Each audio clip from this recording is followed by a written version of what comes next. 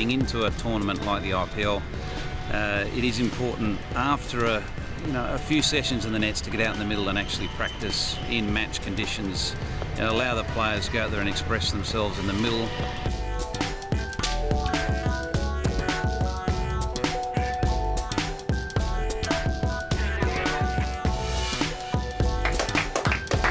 great, great opportunity for all of us to get in form and you know get a hit out there in the middle.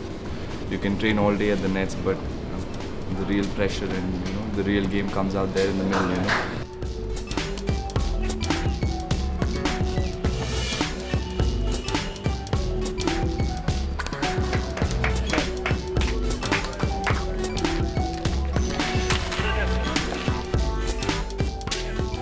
Was impressed with the way that Ravi Bopara sort of, you know, got straight into it. You know, he's just come in from England with Eoin Morgan and he seems to have hit his straps very early. You know, I thought Trent Boult also looked like he's continued his, uh, you know, World Cup form. He got some early swing and movement.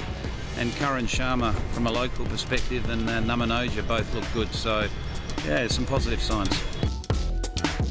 I think you always want to play better, but it was great to get a little bit of time out in the middle. Like I say, it's um, it's nice to, to play this format after playing one-day cricket for so long. So it was uh, it was nice to get time on the feet um, with a, a, new bunch of lads, which uh, which was good fun and, and a little bit of time in the middle. Just simple things like in the field, the discipline. The, the ball's on one side of the ground, the other half of the ground doesn't fall asleep. We've got the best attacking attack in this competition, without without a doubt. We've got the best.